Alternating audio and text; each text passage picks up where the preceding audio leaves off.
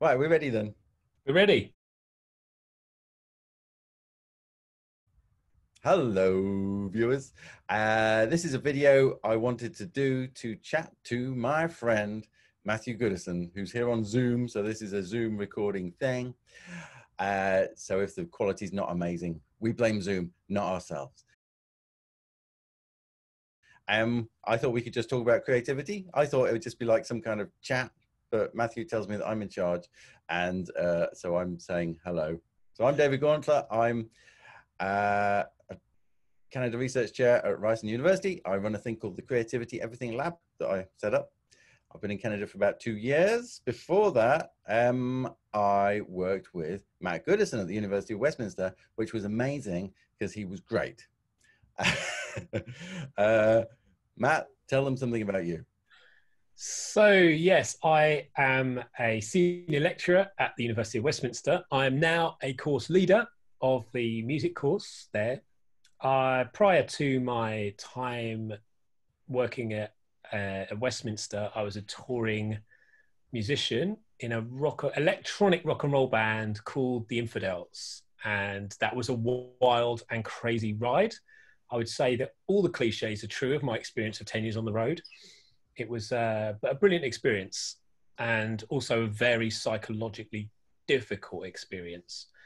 So yeah, I set out after that experience of um, doing a lot of professional shows, played all over the world, Coachella and Glastonbury and everywhere, which was great worked as a songwriter for Sony, ATV, and then in my kind of early 30s had a bit of a breakdown and decided that I wanted to help other people in education have the same um, experience their dreams, to fulfill their dreams, and to overcome some of the barriers that I'd had to my education and learning. And that's where creativity came in. So discovered Ken Robinson, was blown away by his ideas, decided to do a master's. Then I wrote and did some creativity research, got a job at Westminster, and met, to my delight, Professor David Gauntlett, who also shared the same enthusiasm for creativity.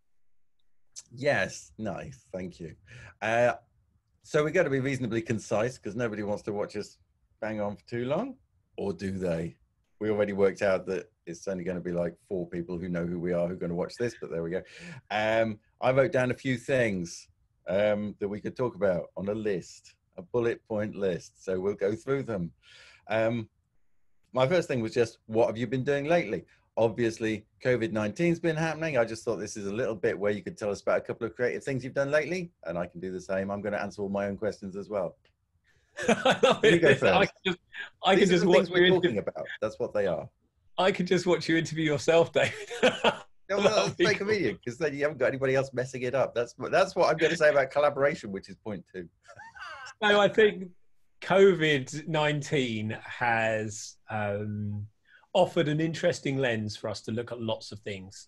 Yeah. I will say that I think there's an aspect of it that's deeply tragic for anyone that's going through or gone through loss. Um, I've lost a few close people to coronavirus that has been um, deeply emotional and very difficult to deal with. So yeah, my my heart really goes out to anyone that's that's on the front line of this um, global pandemic. However, equally, it's changed all of our lives radically. And if you're anything like me and probably David, you think about stuff quite a lot. And I think certain questions have come up as a result of coronavirus. And certainly, I think part of me wishes that coronavirus was a digital virus that had taken down the internet. Because I then think, that would offer such a different approach to how we're going to live in the 21st century rather than a physical virus that has essentially driven more online um, interaction than ever before. So, being in music, coronavirus has really changed quite a lot because we have the live experience, and that has really been taken apart by coronavirus. Some of my friends run live booking agencies, and all shows have been cancelled.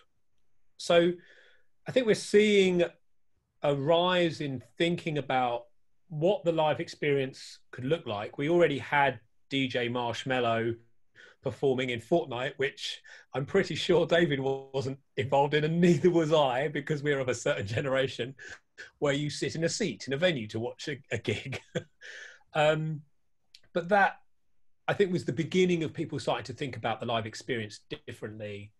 And now I think we're going to see a radical change in what that looks like maybe VR technology, certainly online concerts and things like that. So it's been very interesting to see what we return to when um, when coronavirus eases, if coronavirus eases.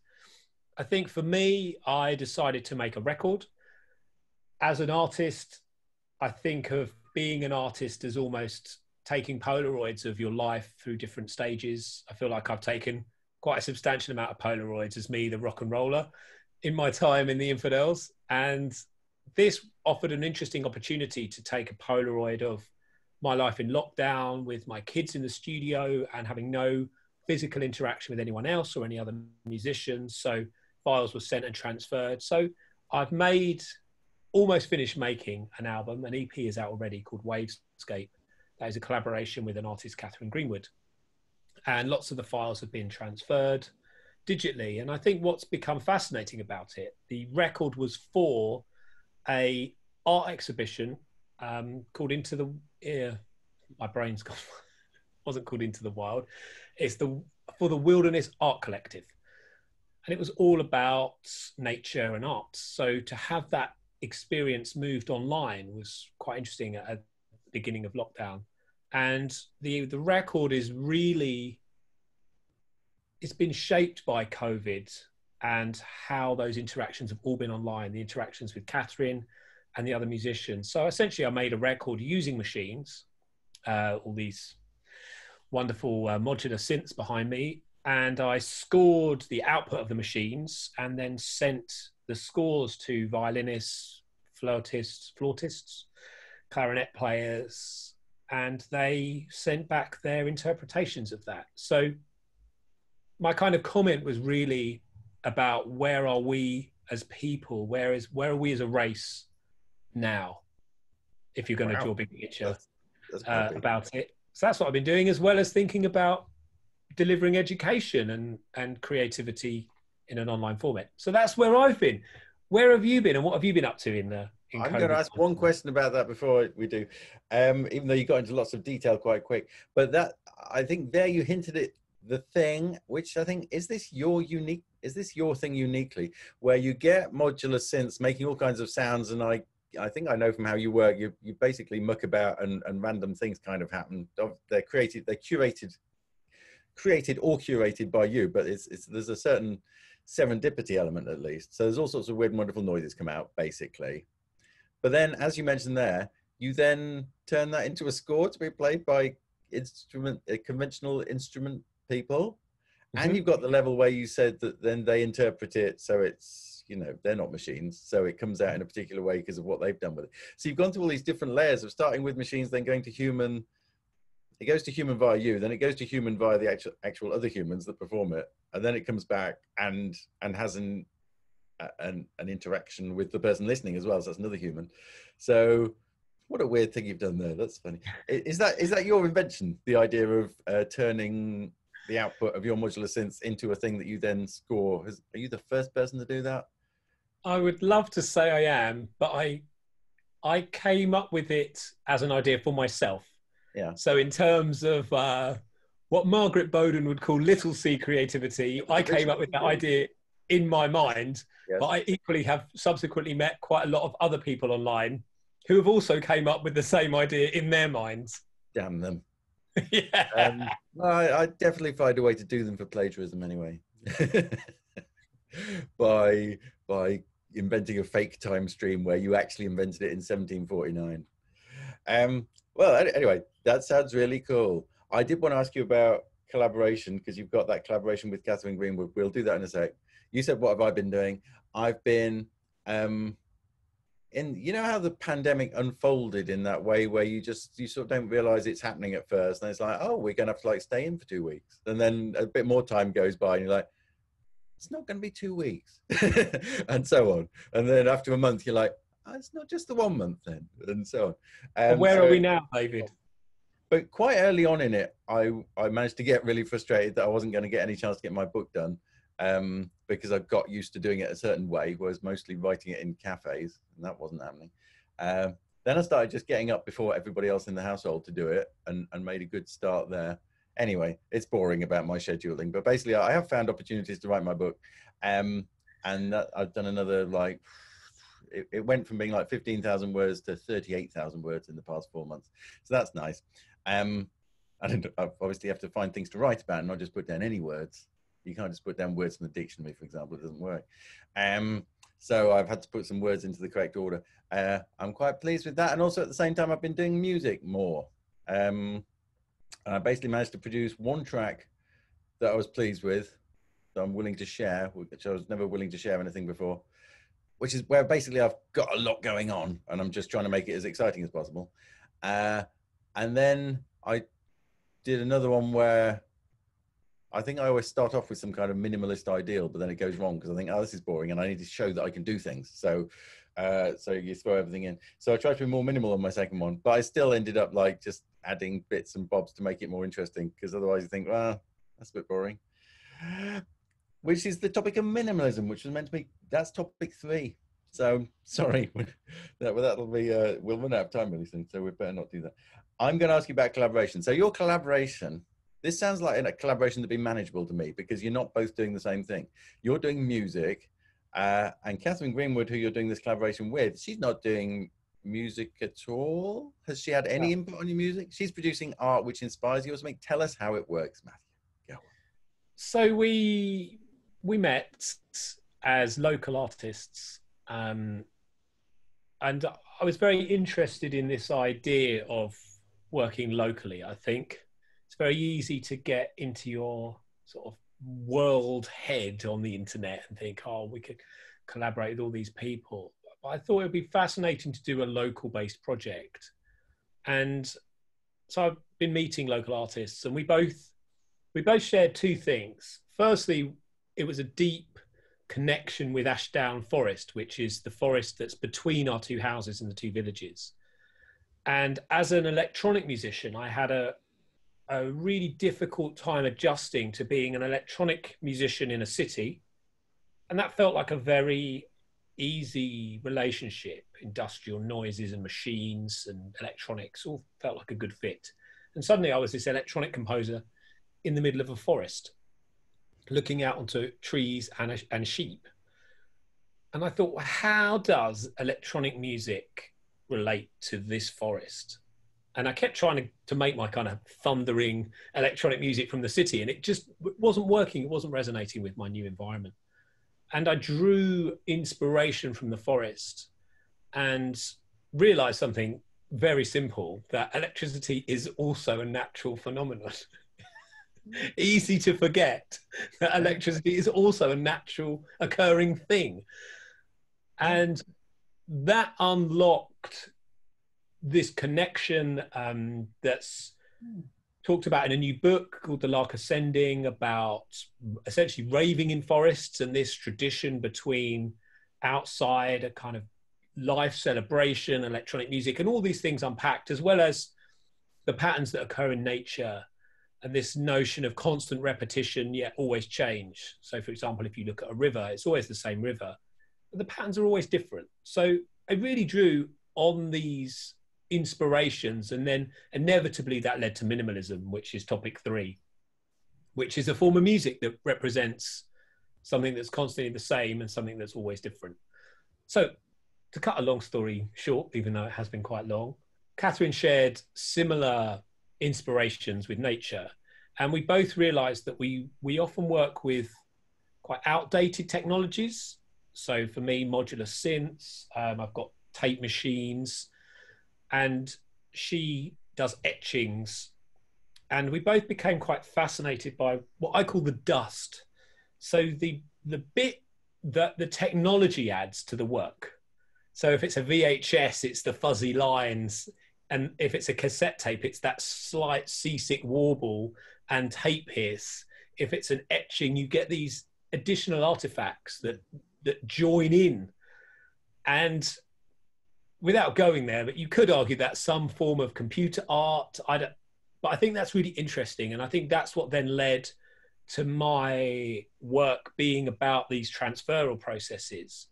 So you impart something into technology, technology adds a bit, and then what I think is so interesting is when the human aspect is then mirroring the technologically added addition, the, the thing that the computer has added or the, the medium has added, being mirrored by a person. So we, we really shared that and thought it'd be great to collaborate where Catherine does some work and I've recorded some of her machines, put them in to the music. I do some work. She then recreates art based on the music.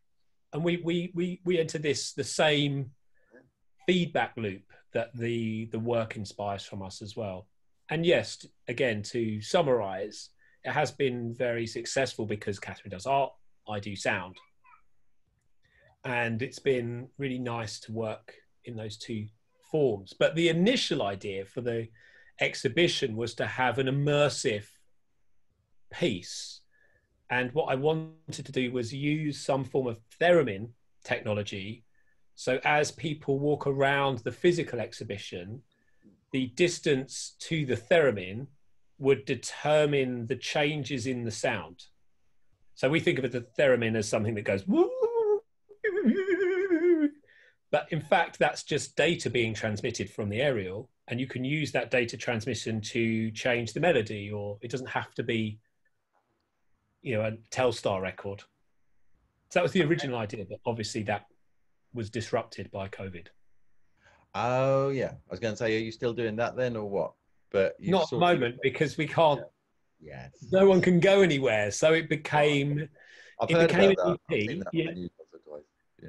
It became an EP, um, and it also became a Wavescape memory box, which is a tiled nine squared web page where the audience can compose their own score by playing different videos and all the music overlaps and they can fade it in and out because i also love these ideas of unfinished and the audience person the audience finishing the thing. I, am uh-huh. fascinated by, by those ideas. Rather than the composer going this is how it's supposed to be you will listen to it like this. Yeah. Um so i've I bought well, I thought I bought the Wavescapes album, but if I merely bought the Wavescapes EP, is the more of that? Um, I bought it on Bandcamp for actual money, but I know you were you were giving the money to the NAACP, uh, and but it it's beautiful though, and I'm not just saying that because I know you, because obviously if I knew you and you'd done something that was like quite nice or whatever, you'd sort of be like, yeah, good. I'm glad he's done that. You wouldn't actually listen to it, but I have actually been listening to your actual music, and it's very beautiful. Um, and I, I was, I don't want to say I was surprised, but it was different to what I was expecting. I don't know. It was. It, it, you've done very well. it, I think what I loved about your comment. It's different to other things. You said previous things. Yeah, it's very, very different for me. And what I liked as well, you said about it, you said I expected it as it when it started to all be the same, and actually it's really different as it goes through. It goes through a whole myriad of of different pieces, and the reason for that is they were all the pieces were composed separately, and then the the EP is essentially two performances of a improvised piece is it? But it's got so much going on. It doesn't feel like a thing that you've like played live or could play live really sort of thing because it's got so many different sorts of parts i mean obviously people can do that live. Otherwise you could never have live music. But um I, I kind of assumed it had been highly worked over in the studio and assembled in that way rather than being like a, perfor- a performance. Well it, it had been um, a loop of composition and performance going round until uh-huh until it felt in a position where it, it could feel like that. So the individual components were composed and recomposed and put into what I felt was the big picture to see how they sat within that and then taken back out again and worked and put back in. Right. So it, it was a very lengthy compositional process. but then the final performance was a moment in time. Ah, yeah. Well, it works. and so there will be an album coming. So that was that's going to be side B of the LP. Okay. And now I'm finishing another side A because I wanted to press it on vinyl, but I thought for those people that already have it, there should always be something more with a vinyl. Yes. I'm like, why you want me to buy it again? Oh, typical move. It's like releasing your movie and then releasing the special edition of your movie six months later. Um, it's not. It's not that scam. It's beautiful, everybody. You should definitely get it. Maybe I should call the album something else. Maybe maybe the album's a new piece. I don't know. I, I don't mind. It was very nice.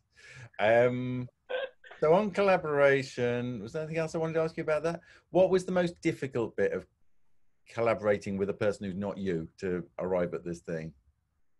I think what's interesting about collaboration, being a musician, I've come from a very collaborative background.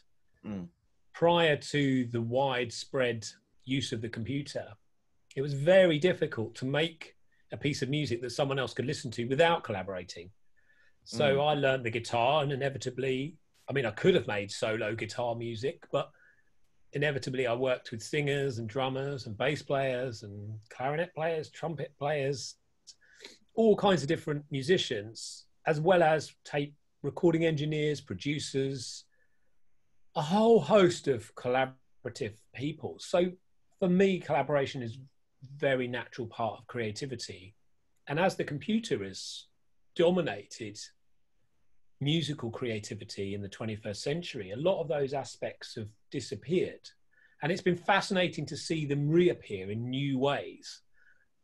For me, one of the most fascinating of those is a new um, app and piece of software called Endlesss that is developed by Tim Exile, and it's a fascinating new way of making music, which is essentially a constant improvisation where the world is collaborating with each other on compositions and tracks. So that's really cool. I'm so into that. But going back to the, to the question, was it difficult to collaborate with someone who wasn't me?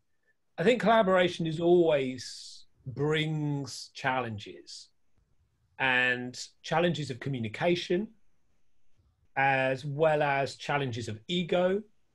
What you think is utterly brilliant, someone may really not like, and what they think is brilliant, you really might not like. And what I found fascinating working with Catherine was the level of, that something was worked to, worked up, did not necessarily correlate to the love of the work from the other person.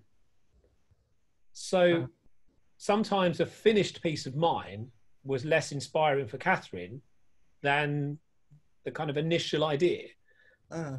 And sometimes some of her very quick sketches, marks on paper, like one line, I found tremendously inspiring.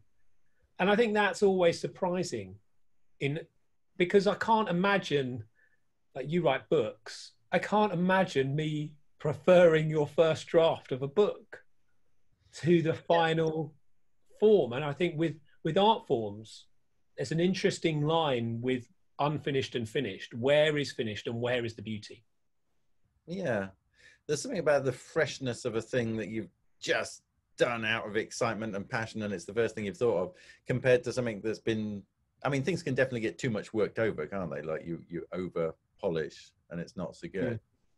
Yeah. Um like with with book writing I I tend to try to get it sort of quite, you know, good and vibrant at first, and then I don't go over it to make it less good anyway, out of sheer laziness.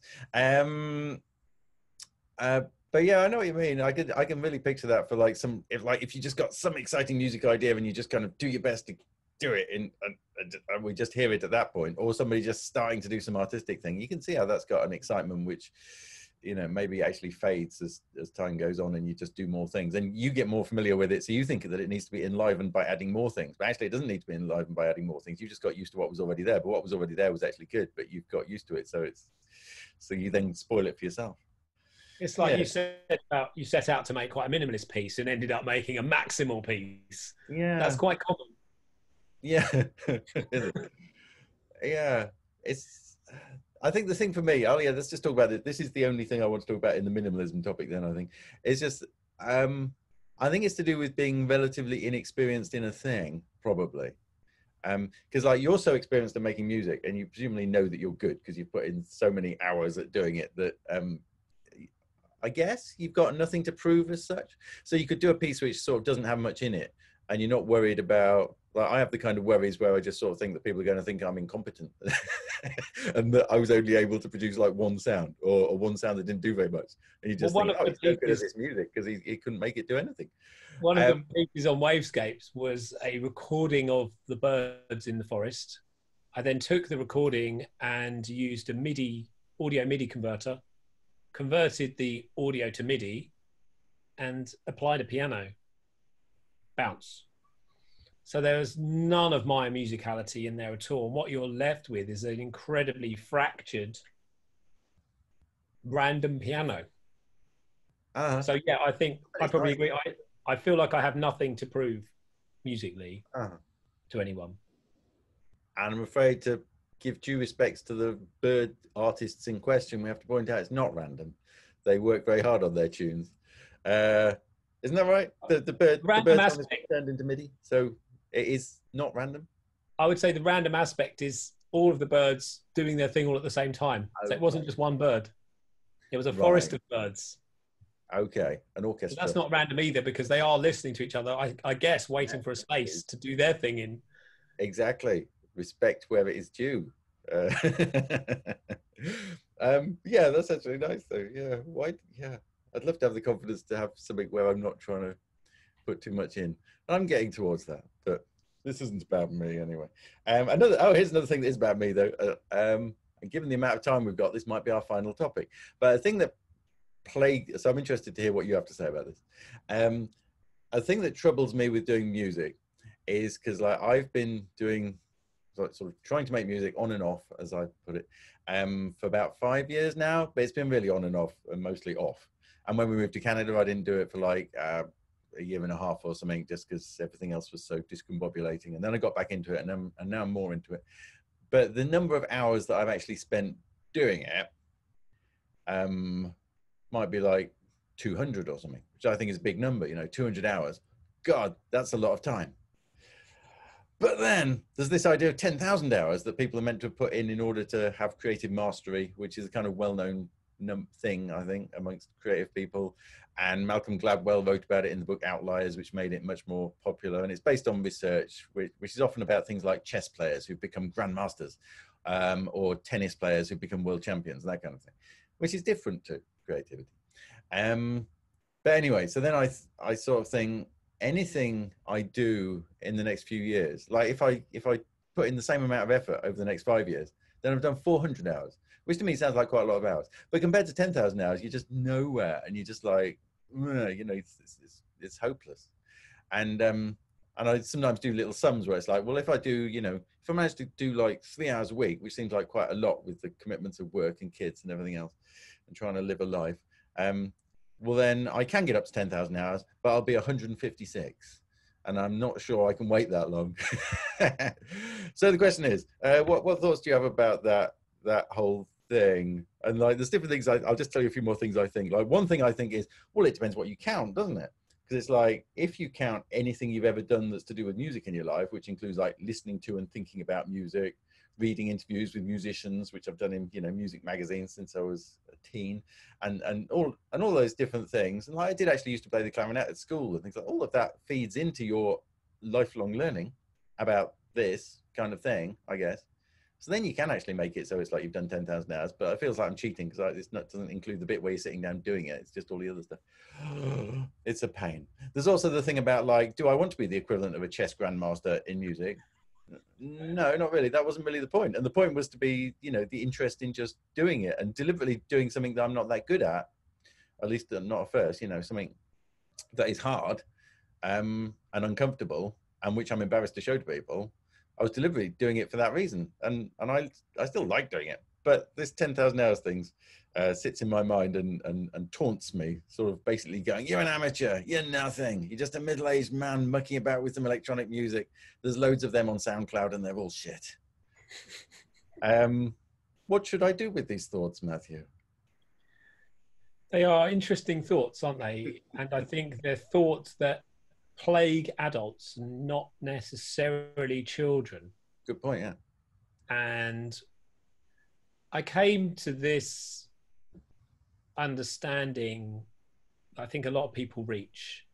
I uncovered it a little bit in the small amount of research I've done into creativity, which discusses the difference between the amount of time you spend playing, mucking about, coming up with stuff, and the amount of time you spend perfecting and honing things. And I think as we get older, we get much, much better at the refining process of taking something and finishing it, making it better and better and better, sometimes making it worse.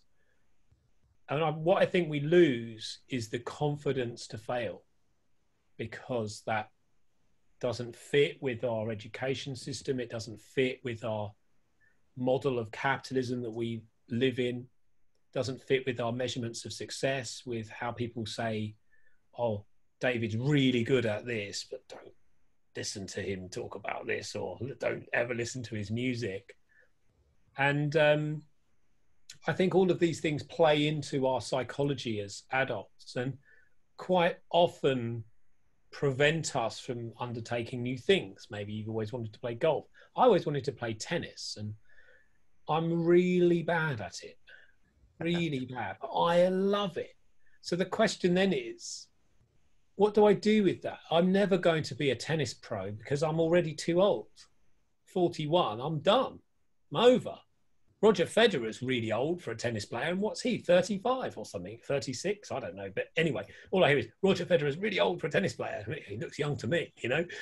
So they're interesting questions. But what is most fascinating about this question, in my experience as a touring musician that was on the world stage, effectively playing in the Premiership, was the question never went away.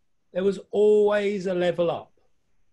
You were, I was playing with the Chemical Brothers and the Prodigy and the Foo Fighters and the White Stripes and Metallica. And then you've got, you know, all the dead superstars, the Beatles, not that they're all dead, but the Beatles. And, you know, you've got these hierarchical levels of success that felt to me no matter how high up that you went that ladder, you never reached it. There was always more layers above. So then that becomes a very interesting question. And the answer to your 10,000 hour rule is if you came to me and said, I want to earn my living, I want to earn all of my money from music, what do I need to do? And that's one 10,000 hour, 10,000 hours. But another question could be, I want to make music and find flow in the process. And I would say that's a very different 10,000 hours because that could just involve a whole different set of things that you do.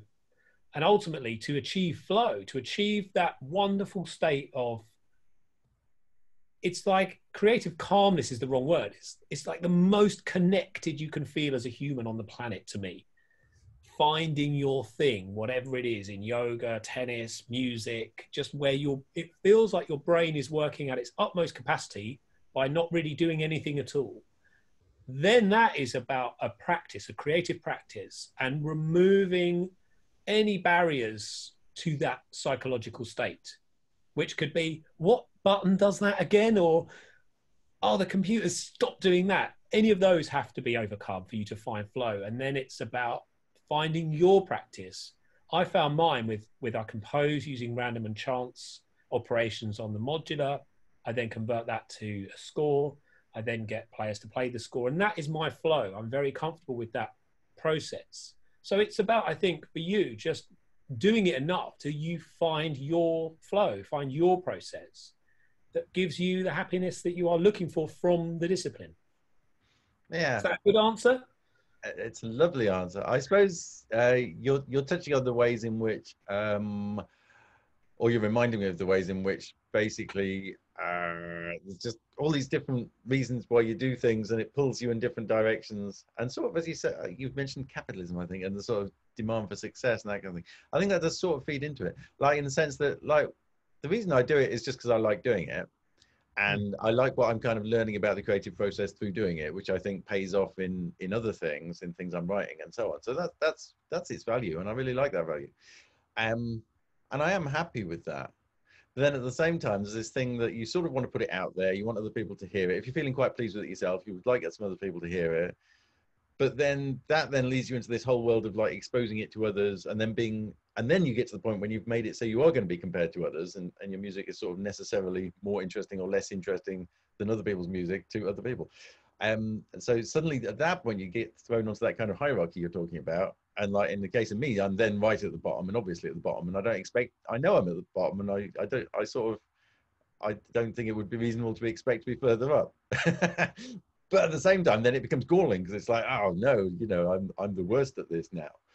Once you put it out there, which is interesting because I like the idea of putting things out there and putting out work in progress and the the Austin Kleon show your work idea, where you sort of constantly exhibit your process so that other people can see it just because you know they might be interested. They don't have to be interested if, if you know some people are going to be interested and that's nice and it's a good way to connect with people and to to share your creative process and get some engagement and feedback on that. That all seems good. Um so I suppose it, it just uh, there's just that external thing that suddenly at some point gets attached where it's like now you need to compare yourself to everybody else and how are you doing in the rankings? And and inevitably I'm at the bottom of the rankings. Um yeah but only on a only on a it's only on a measurement that measures hmm.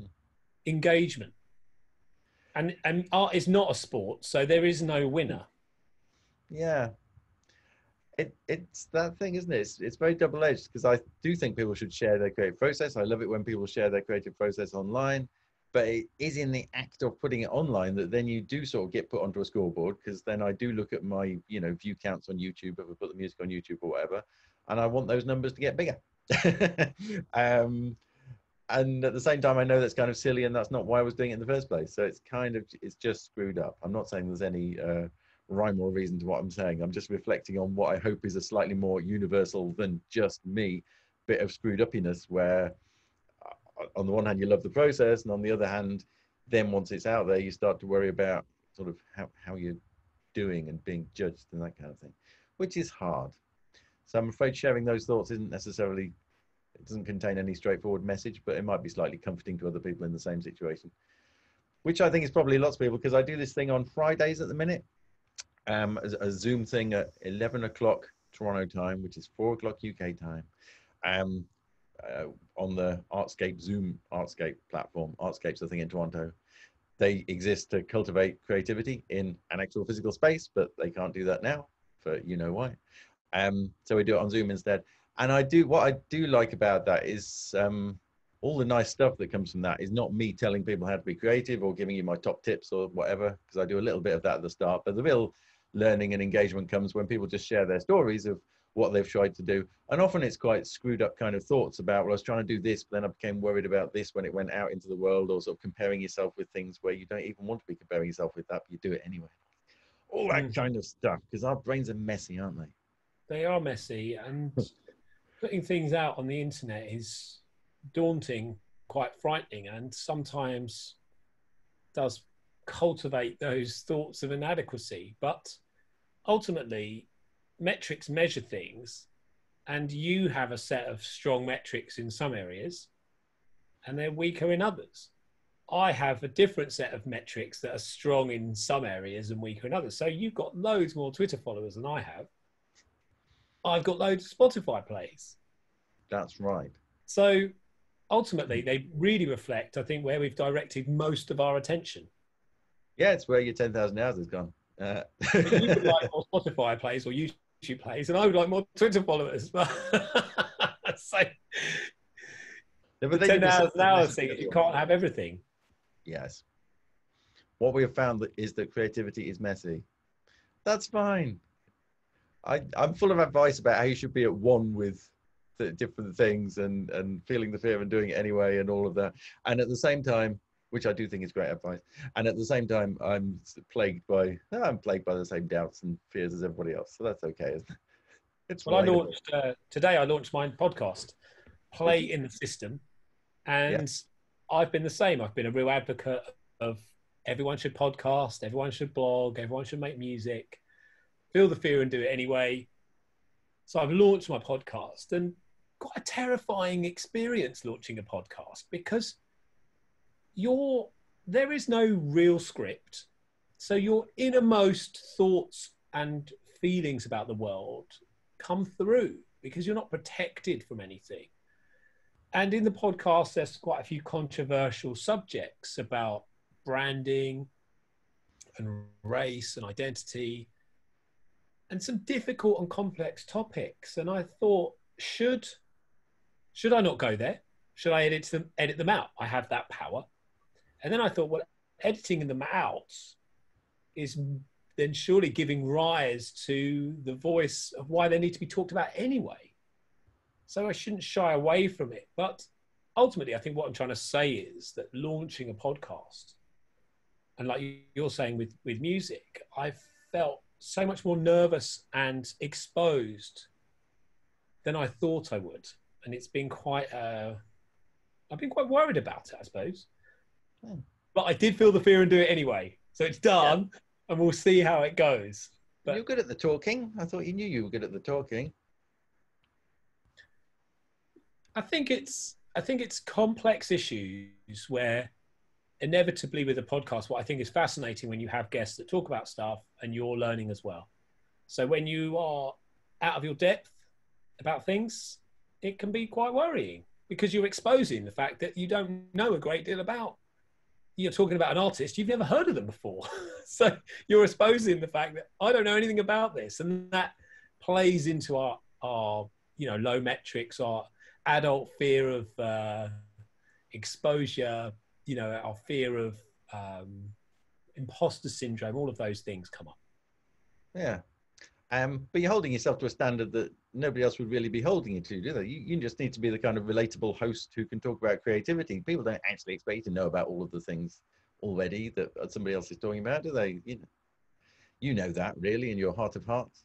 Also on podcasts, nobody can see how badly you're doing because there's no like really big view count number. So, uh, you know, so you can still act like you're doing mega well. that, that Spotify under a thousand plays symbol doesn't look that great, does it?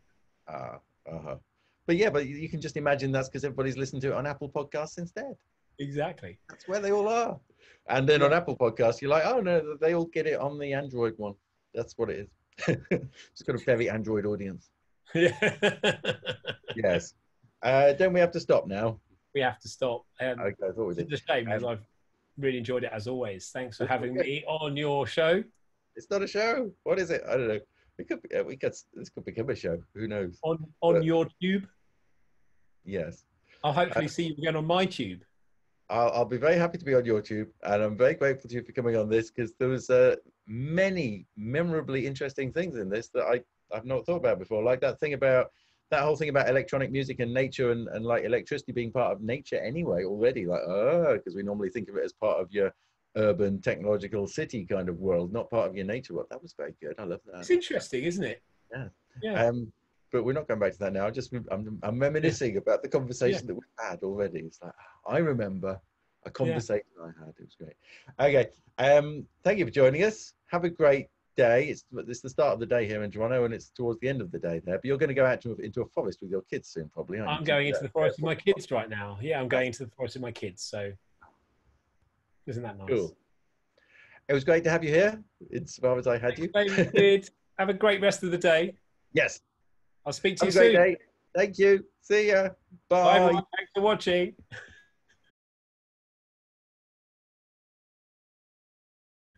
Thank you, Matt. Cheers, David.